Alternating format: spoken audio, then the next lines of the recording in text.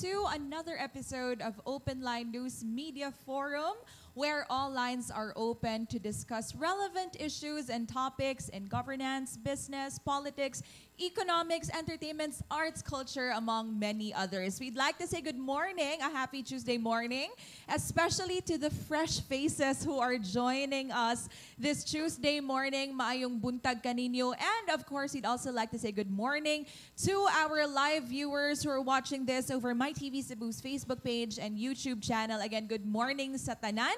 My name is Andrea Patania Matthew, one of your hosts and moderators for today's forum. And of course, joining me is Mr. Eric Espina. Um, thank you very much, uh, partner. And um, it's my function and duty to welcome also all of you and introduce uh, our guests, no? Uh, so I'll start with my left and then going towards uh, the right. My partner is Andrea. The one beside her is Adrian. So Adrian Lee, who is the uh, uh, director of the Mandawi Chamber of Commerce and Industry, he will also be, uh, uh, I think they have a project called the uh, MCCI Business Summit uh, for 2022. Uh, he is the chair. And then as well, he is also the president of the Cebu Centennial Lions Club for year 22 to 23. Let's welcome him. Pakpakisan ninyo eh. and then to my uh, immediate right is uh, Police uh, Lieutenant Colonel Wilbert uh, Parilla, who is the Deputy City Director for Administration, Cebu City Police Office. Oh, kana, kana. Pakpakisan ninyo, kana. Salamat. All right, Sir Eric. This time, would you like to shoot the first question? Of course, Yeah. they are here to represent different sectors, police matters, Yes. and of course, si Sir Adrian, he's going to talk about their um, upcoming Art for Cure exhibit. At the same time, they also have an ongoing um, plastic barter store, and they recently opened um, a new store, sir, no? Last July, July 11. Would you Okay. like to start the first question, Sir Eric? Very apropos kay Kuan man, shoot the first question. So kaning niya sa akong right side mo, shoot man sad ni. so, uh, first question ako, Kuan, uh, Colonel Parilla, no? Kaning, sa imong pananaw, dugay na bang kadinhi sa Cebu City, um, unsay mga kinahandlan sa atong kapulisan, tabi na dinhi sa Cebu City, nga matabang sa City Hall so that you will become more effective and atong mga kapulisan mahimong effective sa ilang mga trabaho bagong auto bagong motor unsa may mga kinahanglan Uh, good morning, everyone. No? Uh, to all our viewers and especially to the people of Cebu. In behalf of our City Director, Police Colonel uh, Ernesto Salvador Tagle, mayong buntag kanatong tanan. So for us in the PNP, especially in Cebu City Police Office, uh, para effectively maka-perform ta sa tuang duty, it is a fact that uh, the PNP really needs more logistical support in terms of uh, vehicles, as you have said, sir, motorcycles, especially karon sa trend sa tuang crime, that it needs fast response to any call of crime. So, mas paspas ang ato ang response if we have those motorcycles we have. And as part of our program nowadays, especially nga mibalik na ang ato ang economy, mibalik na ang atong katawhan pagawas, and uh, the coming of face-to-face class this coming August, we expect that na medyo taas-taas gid ang risgo nga may increase sa crime. That's why as early as now, we are already planning kung unsay ato ang mga activities, unsay ato ang mga preparations nga buhaton in, in terms of anti-criminality. So one of the thing that we have focused on is the putting back our motorcycle patrol. And as of now, medyo daan-daan na gid ang ato ang mga motorcycles. You know, so that is one of our request uh, to the chairman of the Peace and Order of the Cebu City, which is Councilor Safra. In fact, this afternoon, we will have a meeting and to focus on the anti-criminality, uh, anti-criminality campaign of the Cebu City Police Office. So we will presenting them on our uh, proposed activities, uh, hoping that they can also support us. follow up lang quickly kaning kung pangutanon ka karon pila makabuk more or less ang imong mga plano nga ah, kinahanglan gyud ninyo. La do you need 10 motorcycles 15 motorcycles? And then what would be your effectivity level if you were given maybe just only 5 or 7 and then iapil na sad ning unsa ning mga plano ninyo mga anti-criminal campaigns So before, no, uh, we have our SWAT personnel. Uh, we, naka-motorcycle ni sila. So mas aggressive ang presence ato ang uh, kapulisan. The mere presence of our police in every corner is already a deterrent. So the more uh, motorcycles that we will put on the street, the more it is effective. Because the mere presence, it's all, it's, uh, as I have said, it is already a deterrent. So ma-prevent na nato ang occurrence sa crime uh, with the presence, the more presence of our policemen on the street. And at the same time, uh, proactive ni siyang uh, response just in case doon ay mga tawag sa alarma, no, ang atong motorcycle patrol can immediately respond to the crime. So unlike with uh, our uh, mobile patrols nga medyo karon sa himbalik na sa dang ato ang traffic, so it will take time before they can respond. So as of now, ato naman na, mo na ato ang programa sa PNP, it is more on proactive. So dispatching our personnel, all our all available personnel should be dispatched on the street uh, to feel the people that the police is there, police presence. no specific number gyud kung pila pangayoon ninyo pul 10 15 20 and what would be the most effective for you For us, no, kung ang ato ang tanang police stations, we have 11 police stations. So FND have two uh, motorcycle each and 20 motorcycle for our SWAT personnel. That would be uh, a good number already.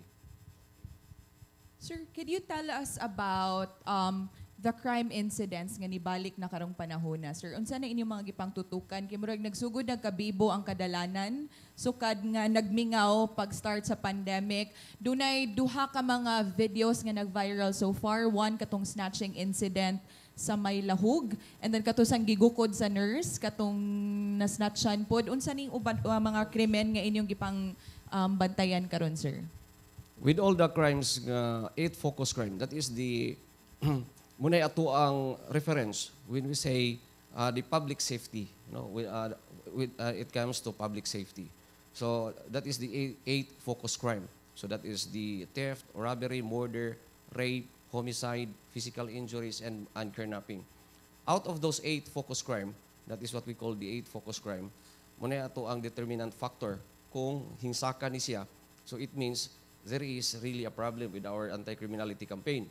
So as of now, kung atong tan-awon ang total niya aning 8 i-compare na to with the same the same period hing lower ta. But karon one specific uh, crime ang atong hintaas is which is theft. Theft gyud ang ato ang mitaas. So all other crimes considered as uh, appeal sa 8 focus crime it's only theft no? So munang ma-appeal na to ato atong snatching din ha katong gigukod sa uh, nurse. And kato pag yung previous pag yun nga katong late night that was late night nga dunay gisnatchan sa the in front uh, diha sa may IT park. So we immediately address with that no? Nga as I have said every week we have we have what we called uh, oversight conference. So we have to study all the incidents in the previous week what transpired so that we can adjust on our deployment. So our deployment uh, will be based on the crimes that happened in the previous week. So it will be based on the crime crime map. So what is that crime map? The place of the occurrence of the crime. So crime clock is the time that crime was committed, and uh, the crime days. What specific days that there are more crimes happened? So diha mag-focus ang ato ang deployment. So diha magbase ang ato ang deployment sa ato ang personnel. So weekly, it will be adjusted based on those parameters. Could you give us statistics, sir, by how much um, how much percentage ni Saka atong mga cases of theft lately, sir? Uh, for, I will check later ha. I will just give you uh, na magud sa kuan. But uh, for this week, for this week alone, no. So we have three uh, in the last Monday, yesterday. So on our oversight conference, in the previous week covers January, uh, July 10 to 16. We have only eight crimes uh, recorded. That is very low for Cebu City. So it means there are places or there are stations that there was no crime at all. No? So, ang pinakataas nga krimen na to is uh, physical injuries. No? So, physical inju- injuries and we have two murders last last week. So, we don't have rape and we don't have carnapping and we don't have homicide. No? So, only one incident of theft and one incident of robbery. So, it means our deployment in the past week with regards to theft and robbery was also effective. And we have only on those two uh, incidents increase ang atuang border which has two incidents. So actually it has only eight. But on the previous week covering July 3 to 9 we have 19 incidents. So hing napaubos na to in the previous week of 8. So 50% ang ato ang pagpa-increase, ah, pagpa-decrease. So it means ang ato ang deployment is effective. So in the other in the previous period we have 9 and in the previous period we have 26. So mo makita sigsag, no? So it means ang ang mga criminals ah, they are also uh, finding ways nga dili sad sila madakpan. So it's uh, uh, for us the PNP we should be one step ahead of those criminals that we have to focus kung unsa ilahang mga modus in committing crimes. Follow up to that, sir, doon na ba yung mga bagong modus karon ang mga kawatan? So far the same. Only that they are also cautious kung naasad ang police, di gid sila mo commit of crimes. So sometimes manggod we have a lot of activities. Just like karon, you know, we have uh, all our most of our personnel are focused on assisting the uh, market administrator in implementing those clearing operations. So, and we have other activities, just like we have also this uh, evening, we have our Greyhound that we have also committed a lot of personnel. So, sometimes, ma-deflate ang ato ang personnel, makuhaan ang atong anti-criminality nga mga personnel. So, that's the time sad nga mo mo kuan sad sila, mo commit. And especially during karon nga himbalik na ang ato ang mga nightlife, considering na na-open ang ato ang bars, they don't have limit anymore. So, naa sa dahan natabo ang ato ang ubang krimen, no? Especially during Friday, Saturday nga naanatay mga kalingawan. Sir, one more question. In relation to the appointment of ex-PNP Chief Sir Sina sa atuang City Advisory Board, uh, Mayor Michael Rama announced that he wants the Cebu City Police to be Cebu's finest. Doon na nababoy coordination ni Sir Sinas in terms of security measures for Cebu City in particular? So far, wala pa tayo formal gyud nga meeting with General Sinas, but the last time that we have met during sa flag raising sa uh, City Hall, he gave already some advices for us. But it's not only the police ang iyahang focus, but these three uh, bureaus, to include the Bureau, uh, BGMP, and the Bureau of Fire, you know, so, and BNP. So that is his focus. But for us, he, he give already some uh, insights o unsay atong i-focus, unsay iyahang focus in giving us instructions with regards to public safety. Let's turn to Kwan, Mr. Lee. Kwan, kaning siguro, ato ning Kwan siguro, no? This is our pride enjoying uh, Kwan. You are the chair of the Business Summit for the Kanibang. Uh, you have uh, invited VIP guests, no, to be your speakers. Please tell uh, our public what will this be about and what will this entail and who are the prospective and confirmed individuals from Manila who will be coming. Uh, Good morning, Sir Eric. Good morning to all the viewers uh, online, also to the media here. Um, I'm actually wearing two hats right now. Um, I'm actually here for uh, Cebu Centennial Lions Club project and all at the same time uh, Mandaue Business Summit. But uh, I will, I think we will have another press con uh, afternoon. Uh, I think the same people will be there, but I, I, I can answer that question very quickly. Yeah, so that we will already have the scoop and Yes, they'll be writing about it right now. So uh, it's a very exciting uh, lineup of speakers, uh, Sir Eric. Uh, we have uh, confirmed speakers like uh, Fernando Zubel de Ayala, uh, who's the president and ch- chief executive officer of the Ayala Corporation. Uh, and then we have uh, Miss Ana Aboitis, uh, uh, who's the Chief Customer Experience Officer, uh, VP no, of Union Bank. We have a very sensational and uh, popular transformation coach, master speaker, Cherry Pua Africa. Uh, and then uh, we have also Mario Domingo, just actually confirmed. He's the director of the Ateneo Institute of Digital Enterprise, who would be discussing about AI and you know the effects of this. Especially us in Cebu would be very affected because uh, BPO industry. Uh, and then um, then we have the senior economic officer of ADB Asian Development Bank, Mr. Lanzafame. Uh, so this is going to be a very exciting uh, event. Uh, of course, exciting mong na always ang business summit of Mandawi Business Chamber. And I wish uh, to invite everybody uh, to be there.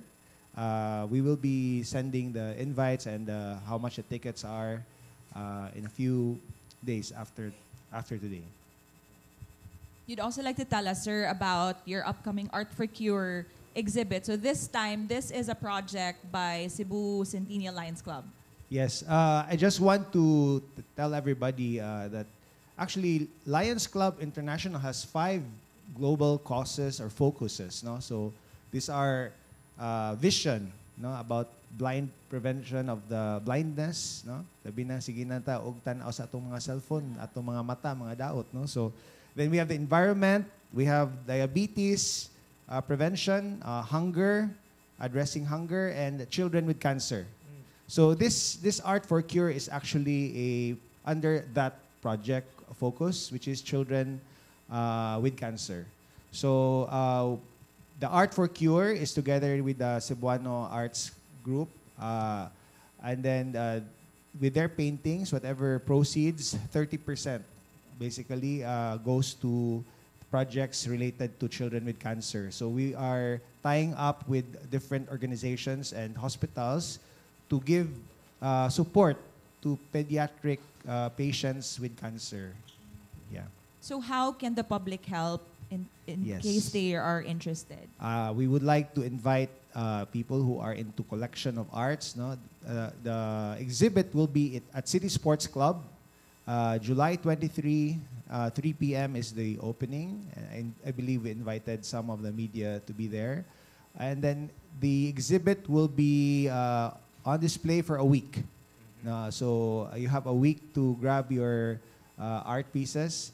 Uh, of course, City Sports Club is a sponsor of this uh, event also, and together with uh, other corporate sponsors uh, with, with us. Kisa may featured artists, ani, sir? Uh, some of them might get angry because they are all popular. ah, really? But So- could you give us examples? Uh, Alan de Mayakyak is there. Uh, we have Raul, we have Jojo Gulbane, and actually, they're all my favorites. no? So, uh, if, if you look at the so, like uh, some of the exhibits uh, in the galleries, th- their names are quite popular. So, I hope that uh, we will support uh, this exhibit, which is which helps children with cancer. Yeah. One, kaning, who will be your guest of honor? Who will do the ribbon cutting for? Uh, Uh, This- it, it would be the governor of uh, Lions District uh, Club, and then uh, of course uh, we have the artists themselves also. uh, no Yeah. politician involved. No, sir. No, sir. will there be other artists, let's say, from coming from Negros, Oriental, or Bohol, or this will just be purely Cebu artists? uh, sir Eric, this is with Cebu Artist lang because of the Cebuano Art Society collaboration. Yes. Okay, that's very good. Sir, I'd like to move forward to another project of yours. Yes. I'm very interested to learn more about it. I actually researched about it, but it's not the first store that's opened here in Cebu. Let's talk about your plastic barter store. And I think it's very timely, especially considering the recent flooding. Gahapon sad sa San Fernando, grabe ang pagbaha. Nag-viral sa ng mga pictures and videos. The other week sa Cebu City, Barangay Tisa. And I think it's also hitting two birds with one stone kay it also addresses the problem of inflation no kay pwede na ta makakuha og mga basic commodities through our plastic waste could you tell us more about that please Uh, Andrea, actually, this this project was started uh, with the Rotary Club of Metro Cebu, which I was also a member. We opened the plastic barter store in Balay Samaritano, which is near Cathedral, no? near near Shamrock, the Polytechnic. There's like a place there called Balay Samaritano. Unfortunately, the pandemic hit, and uh, Odette destroyed totally the barter store.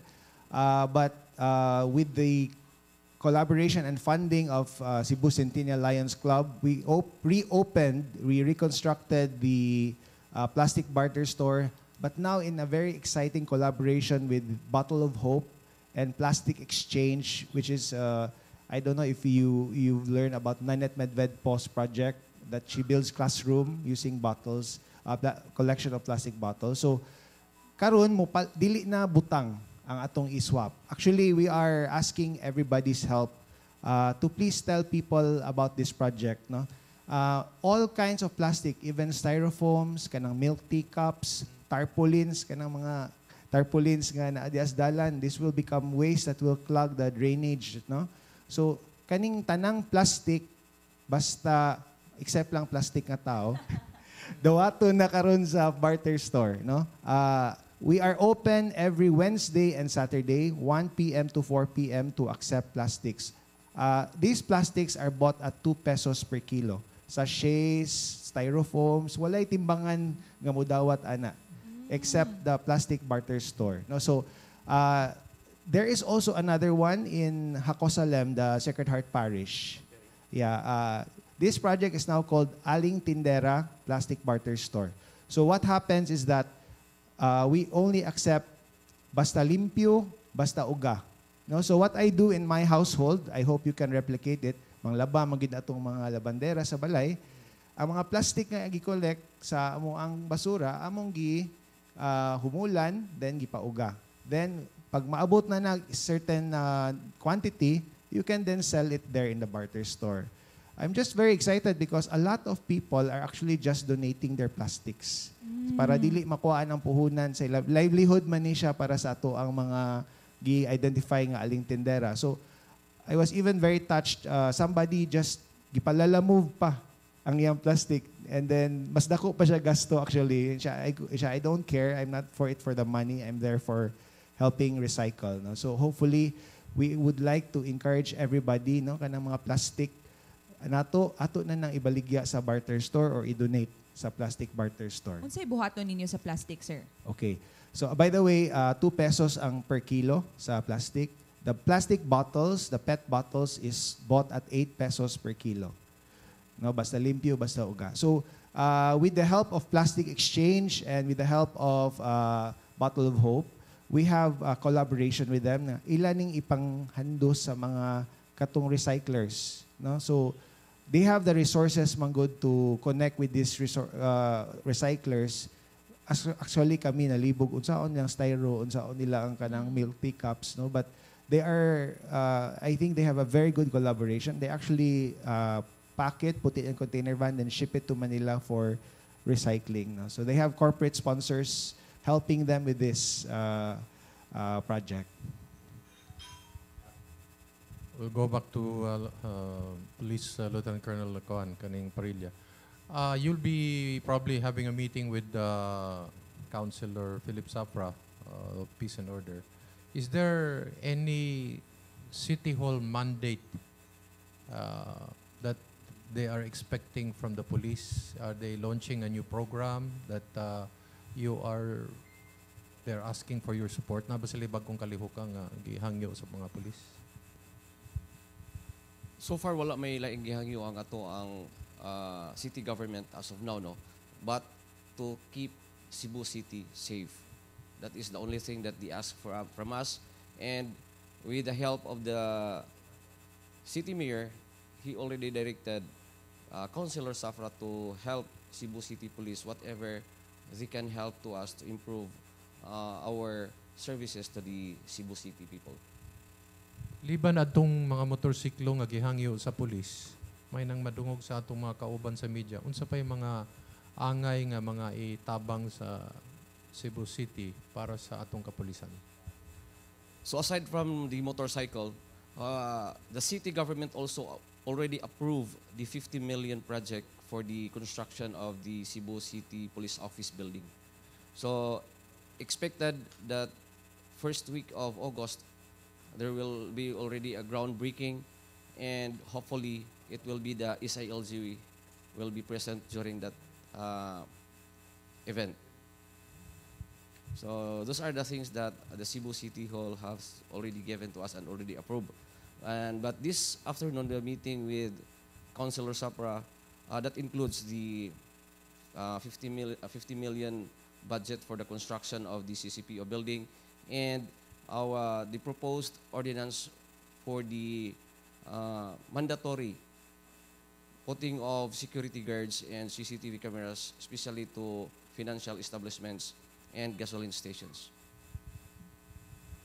Sir, kagahapon grabe ang kagubot sa demolition sa carbon.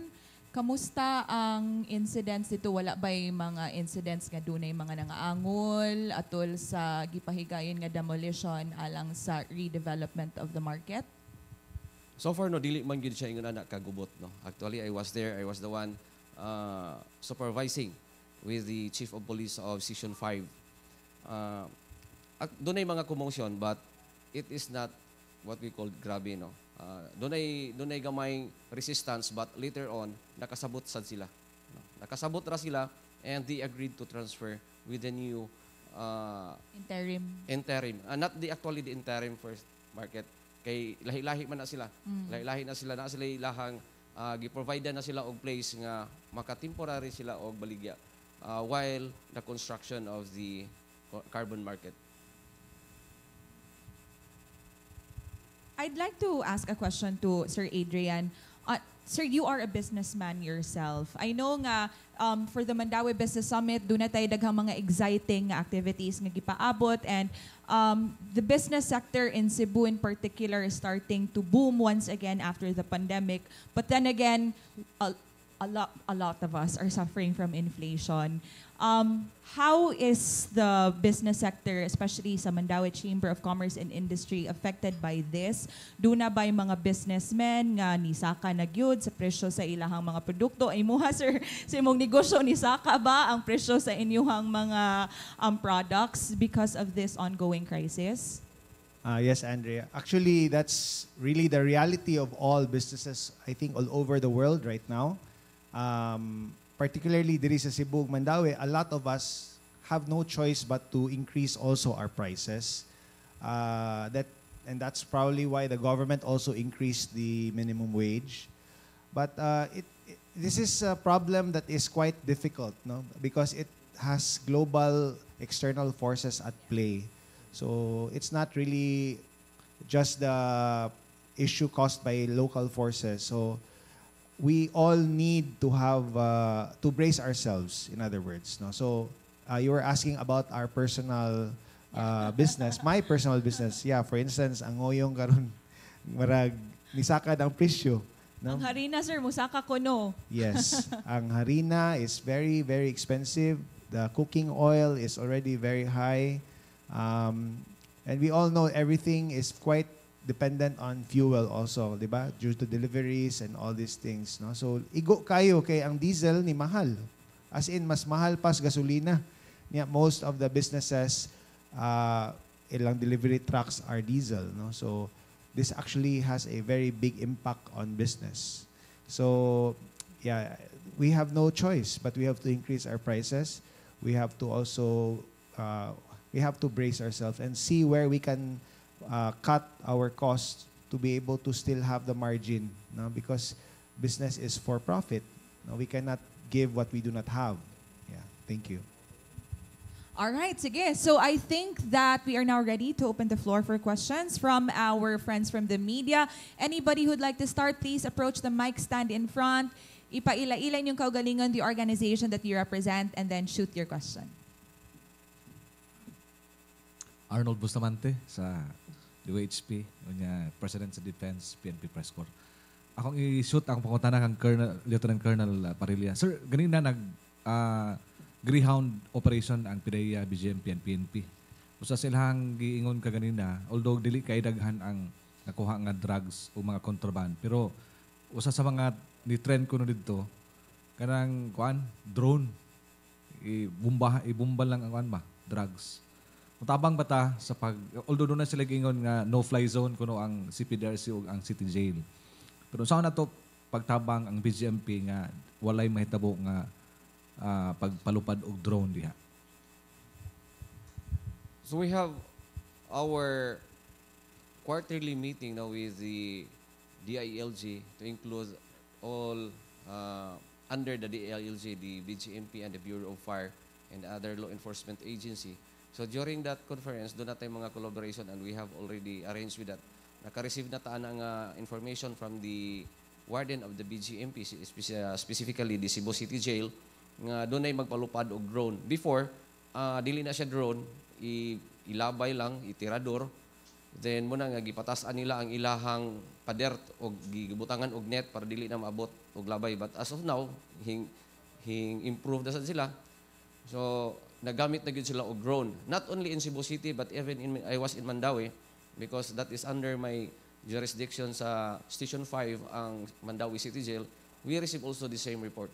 So ingon na gyapon magpalupad og drone unya mo tagak no og mga contrabands. So, every time doon na, doon na sa sila ma, matikdan ana ang taga BGMP, they will always coordinate with the uh, station concerned kung asa na belong ang ilahang BGMP. So, they will always ask for assistance from the PNP to clear the sides kung asa dapita posible. Pero magpa-roving ta sir, ah, diha sa vicinity sa City Jail o sa Yes, CPRC. yes, we have always uh, mobile patrol nga mag-roving diha sa ilahang area because that is also ang ilahang request sa, sa BGMP. Kung naay madagpan nato sir magpalupad bisag walay kuan, usa man confiscate. we will lang. always we will always check no so kung atong ma, pa, matud-an nga siya mo ay nagpalupad with that drone so it will be the BGMP who will file a case whatever case nga ma-apply sa iya Okay. Another question sir sa sa carbon. Ganina nag nag nagkuan na pod nagrally ang mga kuan. Ah, murag carbon hanon ah, group. Ah, dito sa may Freedom Park. So nagkuan na pod unsa imong mando sa mga CDM nga to aron dito? Ah, maximum tolerance paghapon ta or ato sila i-push pagawas. So as usual, no, uh, the purpose of our PNP there is for security, not only for the uh, implementing unit with the clearing operations, but also to the people nga uh, affected. No, we have to make it sure nga walay masakitan, walay uh, madapatan or anything that will happen sa mga both sides sa nag-implement sa clearing operations and the people affected. So again, ang rule sa PNP there, for security, maximum tolerance, so whatever uh, pwede na itong mabuhat nga ma-implement na to nga walay ma masakitan. Ah, doon ay doon ay means doon ay gipagawas nga statement ang murag ang ang San Carlos katibitang sa mga pari nga gi- gi-disrupt kuno ang ilahang misa kagahapon adlaw. Unya although wa ko'y nakita dito nga pulis nga ni ni, ni pugong silahang misa, eh, pero ilang gi-blame ang city ang mga city hall employee. Ah, pero naamo dito sir, ah, unsa inyong reaction sa ilahang statement? At first, no, before pa sila naabot, ang katong nakamonitor ta be- because at first, nangutan naman tong uh, one of their staff nga pwede ba kong ma-interview with the priest. No? So, wala man ko mo agree because we are still busy on that time.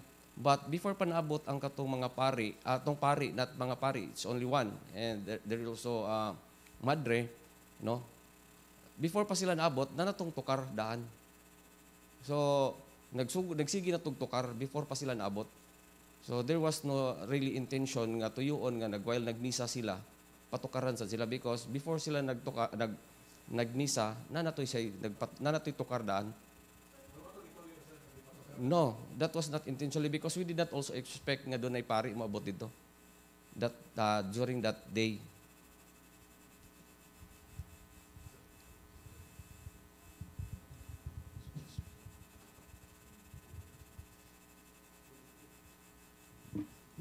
Good morning, everybody. Choi Toralba from DYRF.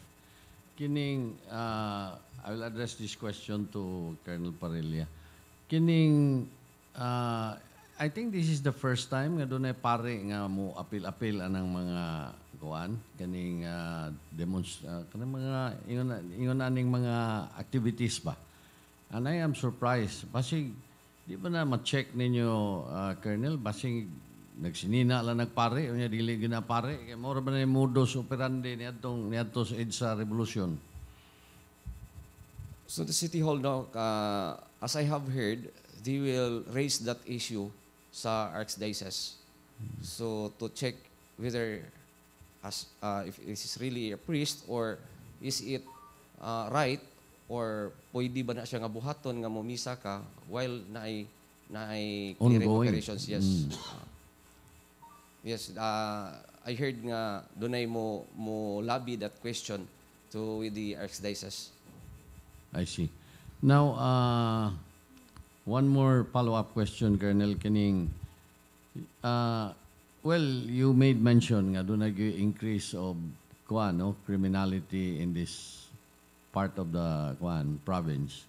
Kining unsa may mga latest update ninyo kini especially the drug problem kay I was informed nga ni saka na ang ang ang drug problem especially mugawas na kuno ng mga drug pusher o pamaligya dili para ni adto nga di gini mo ikita no unsa may mga countermeasure ninyo ana Colonel to ah, ipabalik sa naandan ba nga wa na gyud magsuri-suroy pamaligya Uh, yes, sir. No? Uh, I will answer first with the criminality. So, actually, there was not, uh, there no really uh, increase in the total crime volume.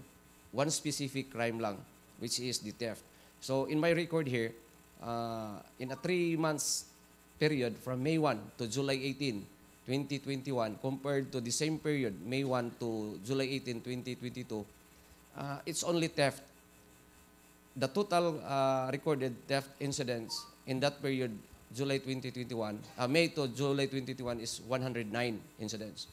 In the same period, May 1 to July 18, there was 118 incidents. So there was an increase of 9 incidents. So it is really uh, minimal. No? Minimal, ra gid na siya. Considering nga full-blown na ang ato ang community. Balik na'y na siya curfew. na wala na curfew, everything is uh, normal. So there wa- there is an increase of 8.3%. But imuhang i total ang tanang crime volume, those eight focus crime, there is a downtrend. No? So ubos gihapon siya. Then I will make it clear ha nga basin ang mga tao moingon nga ah police rin nagbuhat-buhat anang figure. No. Uh, as of now we have already a database which is once ma-record na, na siya sa blotter diya sa police station within 24 hours that investigator should report enter it. No, they have to uh, enter it into the system. We have the CERAS, what we call CERAS, the crime incident, uh, recording uh, incident system. Then, it cannot be edited by the station and even as diha sa CCPO. So, dili na gina siya pwedeng ma-edit once it is already entered to the system. Then, basig maingon sad nga awa gi-record ang tanang insidente sa blatter, ang tanang na-record sa blatter wala sad gi-entry sa system. Every year, ang Camp Crame will go down to the station and check individually or sa tanang mga ah, police blatter nga naa sa station sa station tagsa tagsaon ginala manually og ihap then it will be compared to the generated Database. figure sa database the only allowed discrepancy is only 5%. So once there is a discrepancy more than 5%, the chief of police and the investigator will be charged administratively. So that is why we can say that our record now is really uh, true. No? So dili na gina sa pareha sa una nga ang hipi pwede niyang i-edit, pwede niyang akong pagamyo ni para dindot gwapo ko sa city director. So as of now dili because it can be generated like for example during our conference the chief of police will report we have only 200 incidents but if we generate because we can generate but we cannot edit so if we generate nga ang iya ng crime incidents is 250 so he is lying he can be charged of that laktod pagkasulti Colonel wa nay doktor police wala na lang siya. No. police na gina siya dili na Okay. doktor no so di, kuha na gina siya Ah, that's the true Real. picture that's the true picture of the crime incidents in our area real time Yes. Okay. So within 24 hours because once dunay late nga uh, dunay late recording sila, the in charge also will be charged administratively. Okay. Kang ah, Mr. Adrian Lee, kining ako laning ah, observation kay ang imo dihang kanang propaganda o kana bang imong advertisement do na may yellow ribbon dili ka ang mga Puwa na, dili mo amot, ug mo nang kalakiha kay I, I think I will suggest nga i usab na nimo para o dili naman na dili naman na kuan de marag na partisan ba Na politika. Ah, na politika Sir Choi, uh, I wish I could do that, but the, uh, the yellow ribbon logo is a Lions Club International logo. Oh, dili na siya nga. Actually, the artist said, sir, di ba pink ribbon man ta na dapat ba sa cancer? So, samot na siguro kung i-pink. But uh, actually, the the logo for children with cancer is yellow, sir. Uh, it's a Lions Club International logo. Yeah, and I think it connect in connection to prevention of crime. I think a lot of criminals do crime because they are desperate. Especially kung sample na masakit nga pamilya, labi na imong anak, mapugos gyud siguro kag do criminal things. I hope that others will support this uh, project so that we can also lessen criminality para sa mga desperate parents who are uh, financially uh, challenged. Uh, Kwan, mangutana lang kung kang Kwan, uh, Lieutenant Colonel uh, Parilla, no? What areas uh, sa imong data kung asa mahitabo ning theft usually so that the public might be aware? Uh, is it uh, highly populated areas or nadapita din na skulon para magmatngon ng mga tao ug magbantay? Una na. Ikaduha, follow up lang sa Kwan, katong gi sulti ni Kwan, ni Sir Choi. Uh, unsa may status sa atong kuan gyapon tuk-tuk hangyo. So ang pinakadaghan na to no, nga recorded incidents is at Station 4, Mabulo. No? So mo gini siya, even before, ah, ang ato gining problema is ang Station 4 considering sa iyahang gidakon sa iyahang area. Ah, no? Nya, ah, naadaha ang tanan na to nga sentro sa business. We have the IT park, we have the Ayala.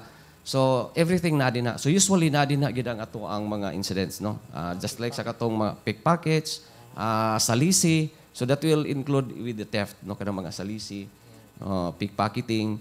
So muna na gid din ang ato ang problema. That is why as of now, doon na natay plano, ah, we have already kanang two substations nga intended for mountain barangays. Para ang kaning ato ang station 4 will focus mainly dinhi gid sa ato ang ah, urban area. Dire sa ato ang business area.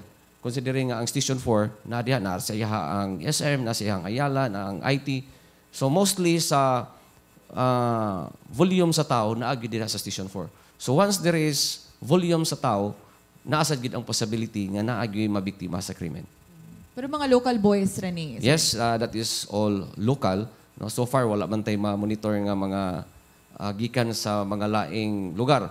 Uh, only kung doon natay mga big events just like Sinulog, no? Kanang Pasko. So doon natay mga ma-monitor nga coming from other uh, places like gikan sa Manila, mga grupo mo diri intended for theft gina sila. Ilad. So sa Tukhang, we don't have any uh, we, we still have, no? But the, we are more on the uh, barangay-based rehabilitation na ta. Sa tanang mga uh, identified nga mga drug personalities and those who surrendered. So that is one of our bases in clearing sa to ang mga barangay. So once, once we ingon nga drug cleared, wala na gingon nga wala nay wala nay drogas din na naagi hapon. No, but it is already all drug personalities to include sa mga mag uh, mugamit. We have already the record and we have already done unsaon na to nga ma-rehabilitate ang kato mga nag-surrender. So those are one uh, those only uh, usas ato ang mga gikinahanglan para ma-declare na to nga drug-free ang usa ka barangay. But uh, I would like to answer again sa kang Sir no ganiha nga question wala man to ma-question katong uh, iyahang ingon nga kumusta na to mong gawas na ang kato mga namaligya og drogas. So far no wala man tay na monitor no nga ingon ana ang ilaw. Uh, doon na mga sulti-sulti but in reality they cannot do that nga mugawas na sila. So very brave brigid kayo sila kung ilahan ng buhaton. So until now, ang atong anti-drug operations is the same. Yung na gyapon ka aggressive and makita ninyo nga volume ang ato ang makuha nga mga drogas. Nga naman, mingon sila nga daghan na siguro ang drogas ron kay ganong didagko na kinilo na ang makuha. But it's not the reason. Uh, the real reason is that ang ato arong ah, drug campaign street ba ditso ditso siya walay wala siya blockage unlike before makadakop kag usa maputol na because daghan na kay mo feed og information sa mga source so as of now makadakop usa magkanit-kanit siya so makonek so that's why makuha nimo ang ilahang taas and then you can get volume of ah, drugs during the operations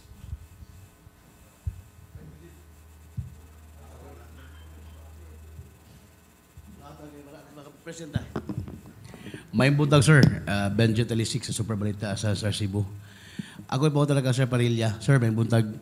Um, gagahapon, doon ay na, nasakpit ang atong PDEA 7 joint operations sa BOC, Bureau of Customs, nga mga ecstasy, kani mga tam, at tablitas. Uh, maabot sa 2,000 kapin ka mga ecstasy nga gi bada-bada sa si- 6.7 million ang iyang uh, uh, street value. Now, ang Cebu City Police Office would be uh, would be possible ba nga mohimo tag ng pagigalayon sa mga kining mga bar owners diri sa tog nagbet o pag at the same time o sa ato pag monitor sir sa kining uh, giken nga mga kontrabando nga mga ecstasy sa gawa sa nasod nga niabot sa Pilipinas o sa itong posible nga buhaton na ni Ah, sa to ano, ah, doon naman tay regular nga meeting sa tanang mga resto bars and at restaurants. So that's the time also nga makikommunicate nila. But we have a problem ang good aning ato ang ah, ecstasy kay dili ni siya parehas sa shabu nga ang mga namaligya og shabu bisag kinsa pwede nilang tagaan, no?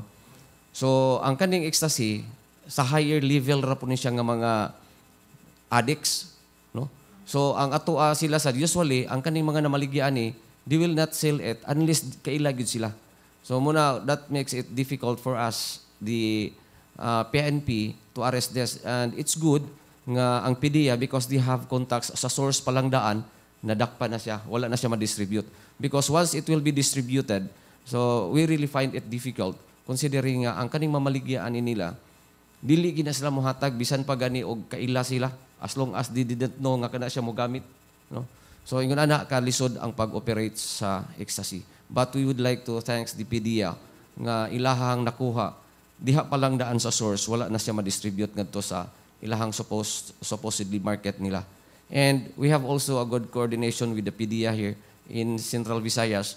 We had uh, we have a good relationship with the PDEA no so every time do na sila yung mga information uh, PDEA will coordinate with us for a joint operation para mas dako og impact then dako og uh, result ang ato ang operation Hello, sir. Paging sa CDN. So, follow-up question lang sa question sa Sir Bench earlier. So, as your observation or monitoring, sir, unsa ang distribution status when it comes to ecstasy diri sa Cebu City? usually ari na sana siya sa mga high-end bars no so wala gina siya sa kanang bisan asa lang nimo mapalit usually ana na siya sa mga drug party ah ah, mga parties not drug parties ah. I'm sorry. Ah mga parties no? Usually naagi na siya diha. So we really find it difficult labi na sa mga high-end nga mga mga bars which is limited rasad ang ila. Sila mismo ang ang ang bars is limited ang ilahang makasod. Ah, sometimes doon ay mga bars nga only those ilaharang kaila nga maka sud dinha sa ilahang exclusive nga mga mga parties. So usually mo na ato ang monitored nga possible market sa drugs Sir, you mentioned earlier nga nightlife in Cebu City is back. So, does it mean na gina-anticipate sa nin- ninyo uh, before or when uh, the restrictions here in Cebu City kay giis na? expected nga unsa Gi-anticipate ni ninyo pod nga daghan sad ang mo gawas nga mga ecstasy distributions or pagpamaligya. with uh, ecstasy no din sa tuwa sa Cebu dili gid sad siya ingon anak karampant although it is present no pero dili pa na siya ingon anak karampant considering nga ang market limited ra dili man gud na siya pareha sa shabu nga ang mugamit daghan. Ang ecstasy limited ra sad ang mugamit kadto ra mang maka-afford. Considering nga ang usa ka ang usa ka tablet tag 2,500 ang usa na tag 3,000 so depende sa iyang klase. So ang makapalit katura sa yung dunay ika-afford. So ang iyang market is limited. So dili sad siya nga nakadaghan ang volume. Last lang sir for kaning public lang to know. So unsay impact di ay ani aning ecstasy sa mga mugamit and unsa siya ka um, harmful para nila sir? So, uh, murag, ano, ah, based on our information, based on our information, depende sa klase sa ecstasy, na daghan nga klase sa ecstasy. Naa siya para sa pang disco, pang party, naa siya pang ah, pang gamit o for sexual ah, what- is the term nga nga muraog mo maka ma-arouse ka oh so daghan siya klase. So actually ah, but usually ang gigamit nila kanang yung pang party nga bisang pag tagurha tagutlo ka adlaw dili ka maluya and we have also experienced na nga mo na nay doon na nay mga ma-overdose no so makadungog ka nga doon na that's like atong mga sikat nga mga personality nga nag-overdose because of party drugs Unsay usual profile sa mga users, sir, diri sa Cebu City? Mga young Young yan siya. professionals. Actually, naana siya sa mga 20 to early 30s. No, ang iyahang mga edad sa usual nga mo gamit. A- ako lang ning ilakbit saysay no. Um, Colonel, unsay atong kuan karon? Kumusta ang atong status sa Nubain? Kay dinhi sa Cebu grabe pud kuno ang paggamit sa Nubain ning ning kunhod na ba ni siya?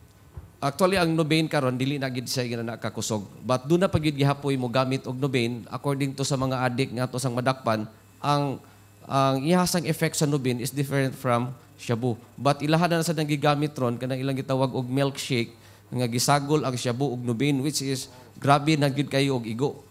No? And then we have already a lot of also of records based on our records sa DOH nga mo ni ato ang gipangusgan nga og kampanya nga most of the HIV nga mga diseases no uh, usa sa rason nga nung natin HIV is because of kanang needle nga gagamit no so muna siya usa sa mga source sa transmission so muna nga ato sa na siya gipahingusgan with the hel- with the aid pod sa DOH Sir, mo amba ko sa issue on cybercrime. Now nga digital na gid kasagaran sa itong mga transactions. Sir, kamusta ang mga cybercriminal statistics sa Cebu City? Unsay kasagarang mga reports nga inyuhang madawat? So far no naagid gyapon. Actually last last week lang do natay na rescue nga mga minors no sa ato ang area sa Cebu City. And then uh, it's good to note gando naman tay lain unit gid ana nga nagmonitor nga makamonitor sila ang transactions. So kaya ma- ang usa sa atong ebidensya manggod ana ang katong ilang gigamit nga mga gadgets. Then uh, we have the cybercrime unit who can uh, restore or pwede nilang ma-extract ang katong ilahang uh, transactions and ang katong mga videos nga ilahang gigamit during sa ilahang pagkandak sa cybercrime. Uh, last week, I think like last week, we have an operation, uh, rescue operation sa mga minors. Foreign nationally, sir? No, involving? uh, local lang. Local. Ilaha, per, uh, bab- inahan. No, then ang iyahang ang iyahang giapil iyahang anak and then anak sa siyang silingan.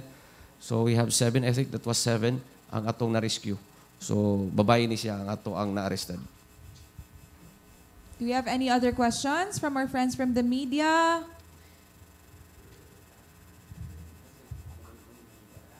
Nestle?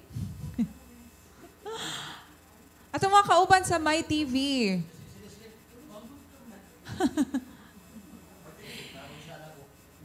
By the way, to our live audiences, you are free to also ask your questions. Just type them in the comment section sa itong live stream so that we can also read them and atong mapanghutana sa mga guest speakers. Any other questions? Wala na. Sige, so we will give, yes. Yes, sir. I would like to kuan din siya kang sir nga katong ihabit ang katong imuhang ah, plastics nga lab ah, limpyuhan lang. So mangayo lang ko ato sa oh unsay mga kinahanglanon because ah, I think the PNP should do that first nga amuning amuning Yes. buhaton and to encourage also sa ilahang pamilya or ah, the family of the PNP nga ato ning buhaton because it's really good no? Ato instead nga atong ilabay so ato na lang ning limpyuhan then we have to give it ngadto diha sa imuhang area. I think that is in Cebu City area. Uh, yes, Colonel. Actually, basi makapalit og motor. uh, there will be three ah, plastic barter stores or aling tindera no? Ah, duha ang abri na katong sa Balay Samaritano duol sa Katedral. Ang sa Hacosalem diri sa may Sacred Heart Parish and the third one will open this August sa San Pio Dumlog Talisay. No San Pio Village. Ah, this is housing ni siya sa mga former scavengers no nga gitabangan sa mga pari sa SVD mga San Carlos Fathers no. So uh, there will be three no. But yes very good because we have a collaboration. Our Lions Club and PNP we just signed a MOA uh, last week no that we will be doing uh, col- projects together and I think this can be a good project together Colonel uh, to help the environment which is a crime against the environment Yes. Uh, Yes. Amo lang tong kuwan. we will work to yes I will we will give you the details Colonel Oo. Hi.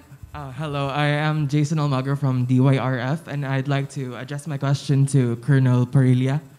So, in relation to the increase of uh, theft-related incidents in Station 4 or Mabolo, um, should people in that area be alarmed, and what is your message so that um, you can ensure safety to them? Uh, there's nothing to alarm, no? Uh, that is really very minimal. Uh, there is an increase of only that nine incidents is the whole Cebu City. I think if there is an increase in in Mabulo, I think two or three incident lang, no? So that is very minimal considering that we are Cebu City, the volume of people nga moari diri sa atoa, especially karon nga open na ang ato ang market, open na ang ato ang business. So dili lang kay ang Cebu City residents ang ato ang giris- ah, gi gi secure, but also the people working coming from other places. Uh, we have also now the local tourists coming in. So everything. So there will be an increase of volume of people. So there's nothing to worry about because that is, as I have said, that is really very minimal. Uh, if you look at it, if you compare it to other places with the same volume of people, Cebu City is really minimal ang ato ang crime incidents here. All right, thank you, Colonel. Sagi ko sa nabiktima na sa Mabolo, Sir Eric. Nakaambak jud kog jeep ahat. Nag-inilugay mi sa kong cellphone sa snatcher. Anyway, um, sir, doon na na tayo mga live questions from our online viewers. This is from Beatrice. Hi, Beatrice, if you're still watching this. Her question is, what other measures for the upcoming face-to-face classes other than the proactive proposal of additional motorcycles for immediate response? So in terms of security, no, ah, wala naman ta kayo changes nga buhaton. Ah, only lang good ang ang challenge man lang ron sa face to face is on the COVID side. But in terms of the security sa ato ang mga bata, sa ato ang mga estudyante, that is ah, normal naman na nato nga gibuhat. So again, ah, police presence gid ang ato ang pinaka pinaka focus nato nga ato ang personnel as of now we have already directed sa ato ang mga police stations nga ang mahabilin ra sa stations that is only three no? The chief of police the desk officer and the investigator. All other personnel should go out unless do na sila uh, needed nga buhaton sa opisina. To include kanang mga administrative nato nga mga personnel. So they will be deployed especially on sa mga oras nga daghan gyud kayo ang tao. Uh, especially from 6 to 8 in the morning and 6 to 8 in the afternoon. So muna siya focus sa ato ang deployment and usually mo na ang oras nga naatay mga krimen nga nahitabo. Not only on eight focus crime but also on the public safety sa kanang uh, mga sakyanan.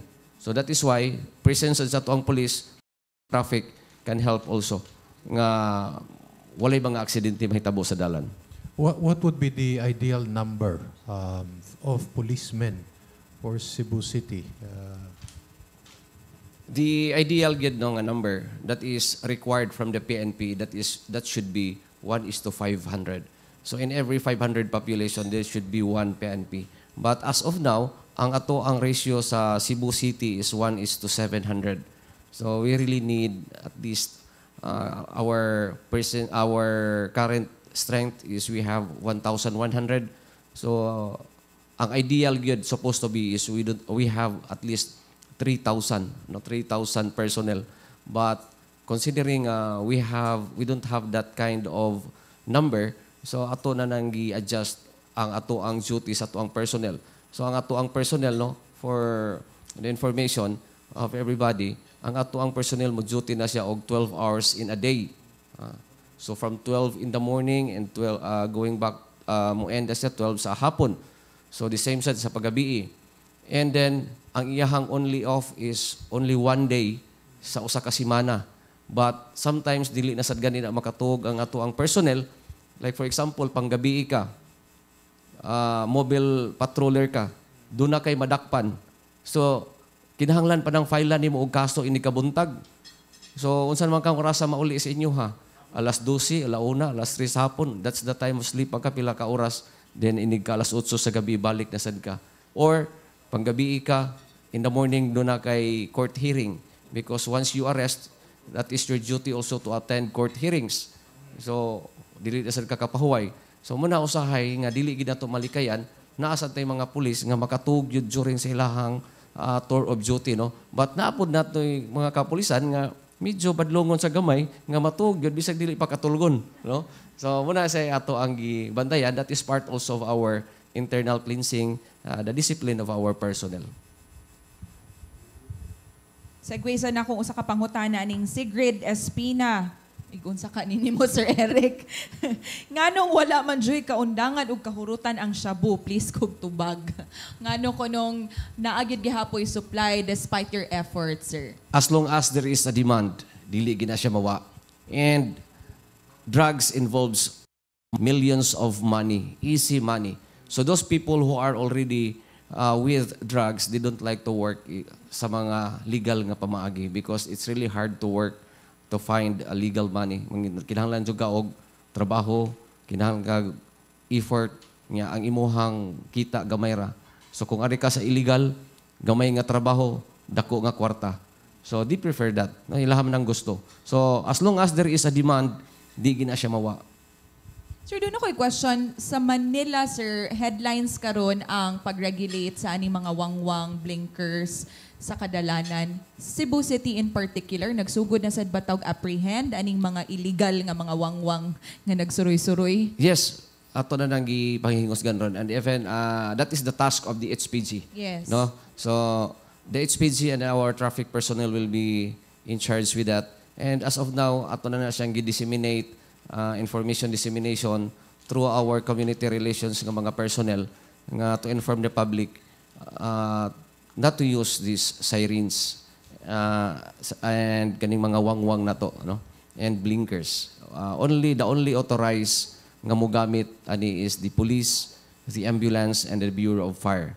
So wala na lain nga makagamit ana Bisag mga politiko, sir. yes no so we refrain kung ang politiko doon na sila escort doon na sila hatak so ang katong hatak is the one authorized to use the uh, wangwang Ano, katong mga uh, HPG personnel na to So technically, ang ilang sakyanan, sir, dili gyud unta angay butangan. Yes, wala gina siya. So wala gina siya. So we are also sending letters. Sa karon ato na silang gipadalhan og Ah. letters because for sure they will also be advised by the uh, DILG. Right. So kung uh, ang mga politicians they will be also advised by the DILG with the directive of the president. Okay. So, yes. Atong intern from my TV. Hi, my name is Sofetskaya Imperial, uh, my TV intern. So I would like to address this question to Sir Adrian. Um, sir, about the plastic barter stores project, um, how do you see this going in the next couple of years? Uh, this project is actually very active in Luzon area already, the Aling Tindera program. Uh, they are looking for sari-sari store owners who are willing to accept plastics also, no? But the suggestion of Colonel uh, of police stations collaborating, this is actually a very good uh, project that we can start, Colonel, no? Um, if I would like to invite other groups, no, even the media organizations, no, if you are able to uh, open more of these barter stores, no, so they actually will the of course, it takes a process, but they will actually give you a container van uh, to store the plastic for security reasons. It's only here in the barter store in Balay Samaritano. Uh, we don't have one because we already have a physical store and there's no space also, no. But uh, if there are barang, we're actually looking for barangay uh, uh, barangays that are willing to have this kind of setup. But to be sustainable is that you should have your own business. Uh, like example, a sari-sari store or a kalenderia.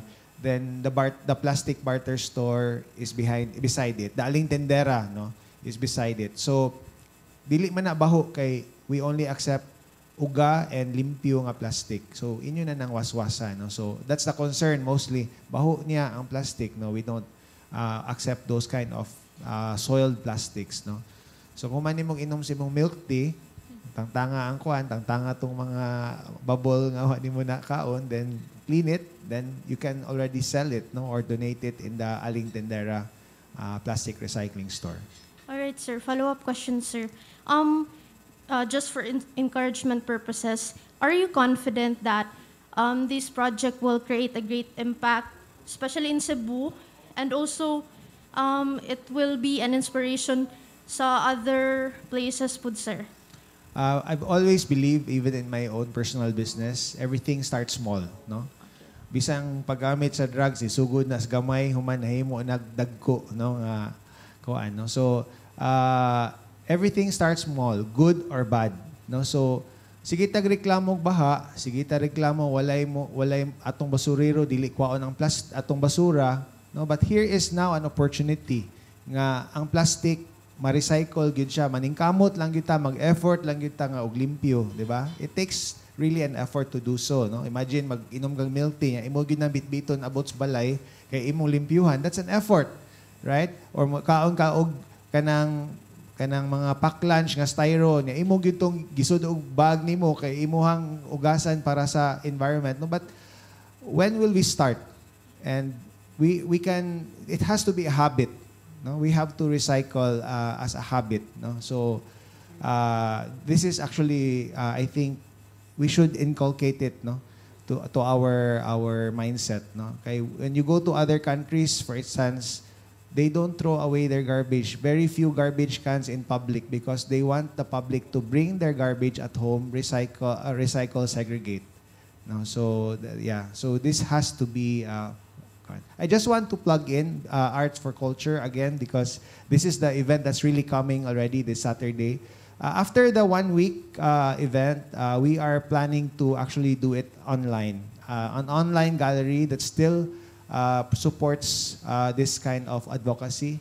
So that time we will already open to other artists who wants to be part of that uh, all over the Philippines or not e- uh, even all over the world. No? So who wants to put their paintings in that uh, site uh, where they can choose paintings that can also help children with cancer. Yeah, thank you.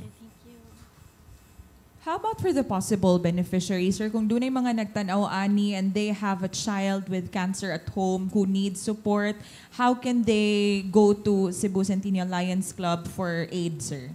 Uh, right now, we are actually uh, working with organizations like uh, Kite Foundation.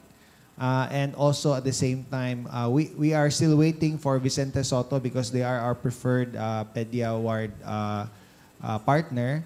Uh, it's difficult for us to screen if they will directly go to us. So, yeah, because uh, basig na yung mga swindlers Manila, mawari magdag pretend to be cancer uh, patients. No? So we want to prevent that. And uh, these organizations and these hospitals have a good screening process. No? So we work with them. Uh, we don't work directly with uh, uh, the, the parents who, who will contact us directly. Thank you for that question, Andrea. That's actually very important. Thank you. All right, sige, so we have 14 minutes left. This time, we will give our panelists the opportunity to plug any activities upcoming for CCPO, Cebu Centennial Lions Club, or reminders to the public na gus- gusto ninyong mahinumduman, sir. Uh, for the Cebu City, no, uh, we would like to remind uh, the public, not only, especially not only in Cebu City, but uh, the whole, as a whole, no.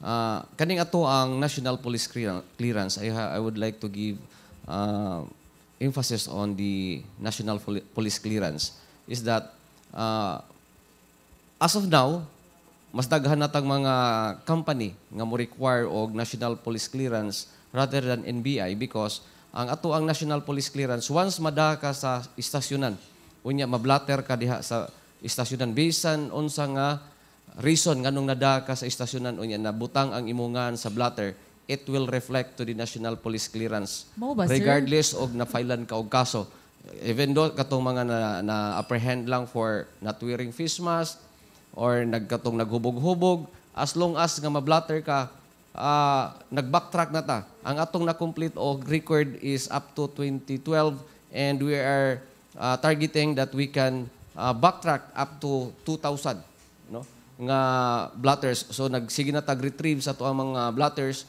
para ma-entry na to sa to ang ah, national police clearance. So dili na ni siya para una nga kung nakasa ka sa Mandawi are ka mokuha sa Cebu City og police clearance kay aron wa kay record.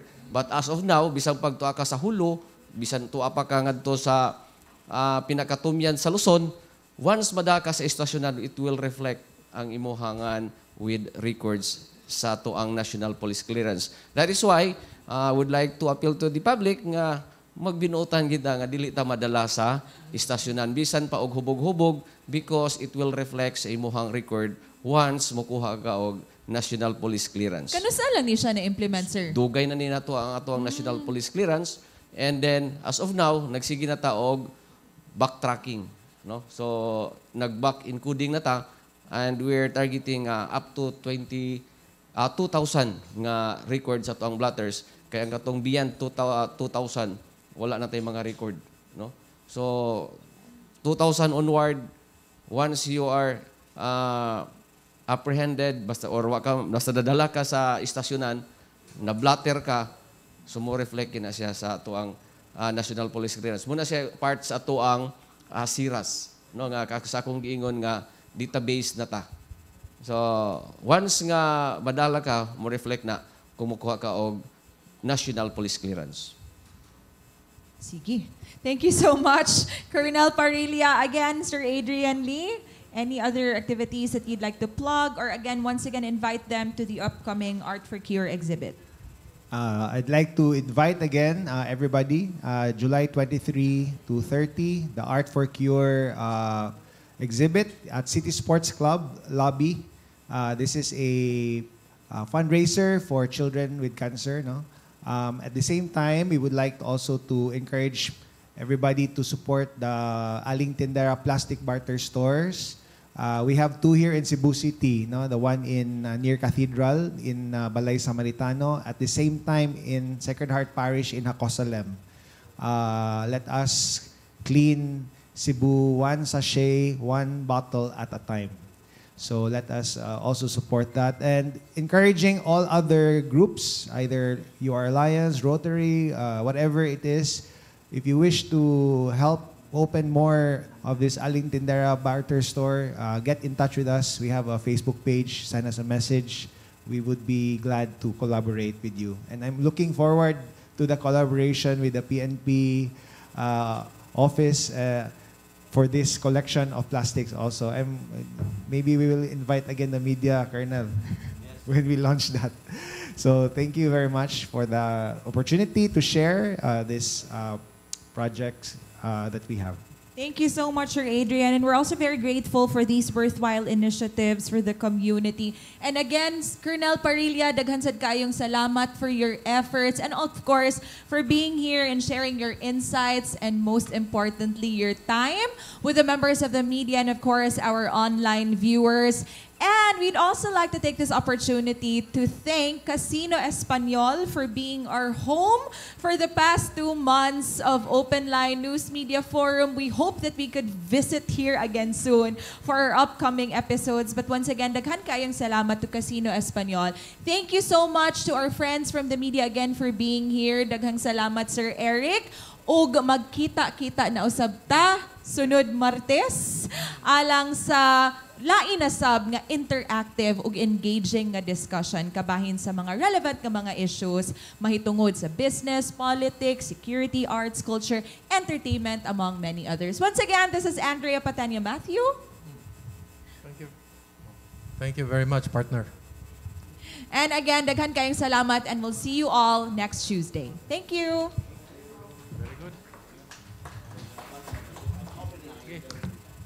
Okay. Gidungagan pa ito unta ito nimo. Gidungagan.